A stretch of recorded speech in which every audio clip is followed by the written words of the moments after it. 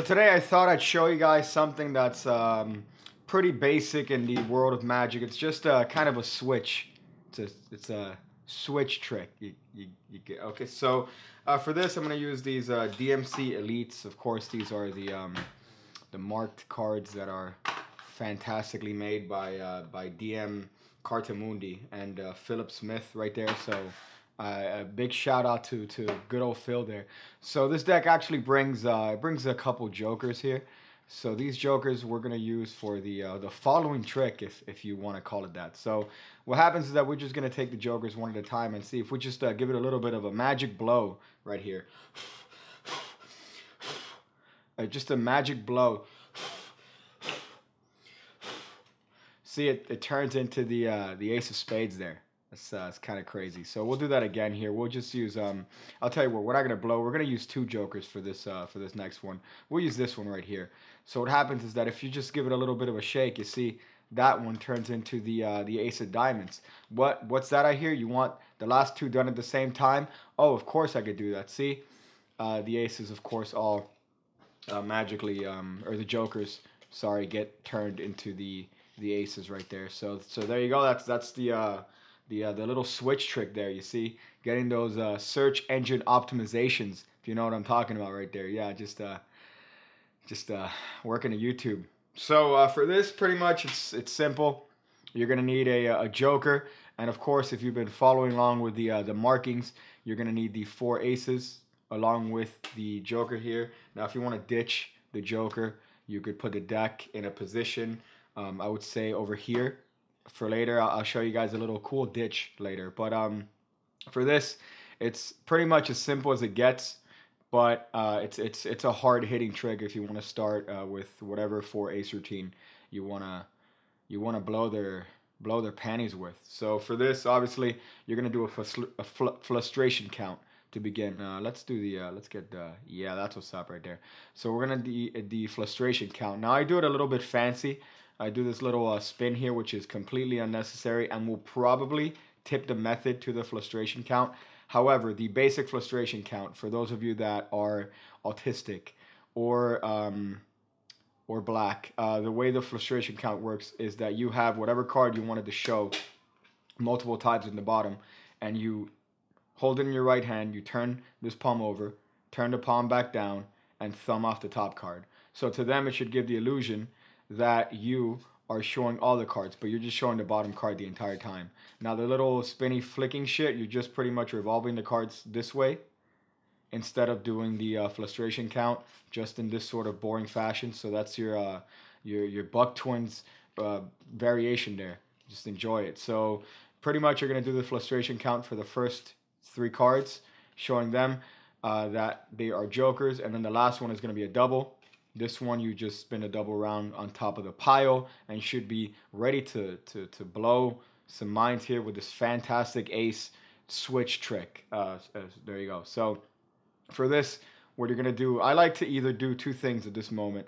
You either do some sort of a one of these uh, paintbrush changes there that are going around the the the street right there. You could do this paintbrush change, right? It should look a little bit like there you go. That's that's how it looks like. For that explanation, it's uh, you're holding a double here, and what's going to happen is that you are just pressing your thumb, the card to the left, and the fingers behind are putting a little bit of pressure, so that when you combine those actions, this card actually just flips onto the the little packet right here, and the uh, first ace is shown there. That's one of the methods that I could use. The other one is this little bit of a, of a blow change if you want to get a little bit sexual with the spectator, you turn the double over and you hold the cards between your thumb, uh, your right thumb, and your left thumb here at the extreme corners. Now, if you give a strong, sharp blow, what's going to happen is that the card's going to spin over like that. However, if you're trying as hard as you can not to show your face on camera, it's kind of hard. So,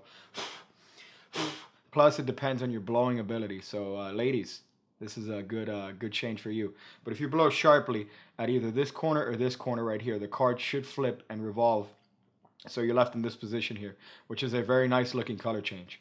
That's the uh, the first ace. Now the second one, what's going to happen is that you're going to displace the cards a little bit, counting off one card onto your left hand, counting off another, and then dropping this double on top as you show the bottom card. Again, there should be sort of like a little shuffle action. It shouldn't look like you're actively displacing the cards, but it should look like you're just uh, just fidgeting with the cards a bit. So the next change is kind of a, a double change that um, I haven't seen really, but uh, I'm sure somebody, Ed Marlo probably calls it the uh, the the Dai Vernon circumcision Jew count. So you do uh, this count right here. You once again count two cards onto the left hand, showing one ace. I mean, sorry, one joker here. Put this on top of the packet and thumb this off to your right hand. Now you're gonna use this one to flip over the next card, which is actually a joker. So in this position, you're left with an ace over here and a joker over here. So you could do this color change two ways. Either at the end of the day, what's happening is that you're flipping the packet over. That's that's all that's happening. Whether you want to shake it like this or you want to shake it like this, all that's happening is that you're putting your fingers here and just turning both cards over. So what it should look like is that this joker actually turns into an ace.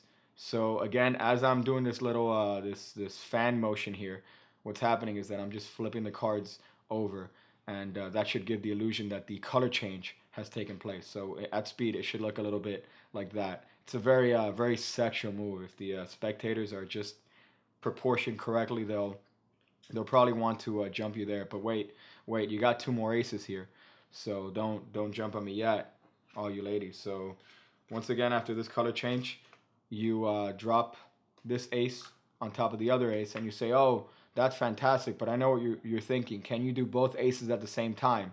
Yeah, yes, I can. So you just turn this joker over on top of the little packet. You're gonna pretty much slide over the bottom card, which is a little bit hard because these uh, these cards are very slick. Should uh very slick.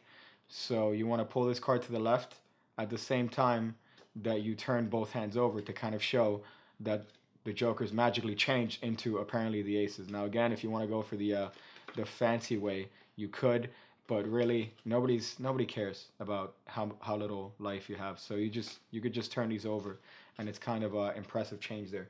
So you show the uh, the aces this way, and uh, there you go. So if you want to ditch them, what you can do since the top card is the Joker, you do that little count again, um, with the last card of course being a double. Put that there, and pretty much what's gonna happen is that you're gonna start approximating, just turning the aces over in this very dramatic fashion in uh, with this hand being dangerously close to the deck.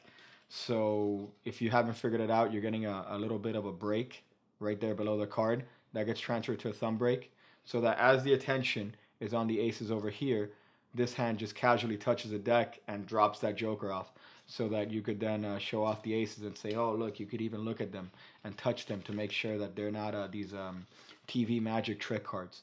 So that's uh, that's a cool little routine you could do just to kind of get into any sort of ace trick that you want to do. I'm sure there's a lot on this channel you should look at. So uh, you you guys enjoy that, enjoy that trick, pr practice it well, um, and uh, I'm gonna I'm gonna Nintendo Switch right right out of here. no. see you again, when I see you again, when I see you